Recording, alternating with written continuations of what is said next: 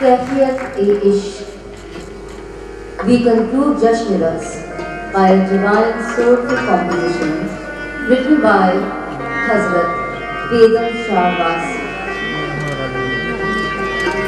बेखुद ये देते हैं अंदाज़ो हिजाबाना आ दिल में तुझे रखूँ मैं जलवाए जाना kalam depicts hidden divine connection between a devotee and life.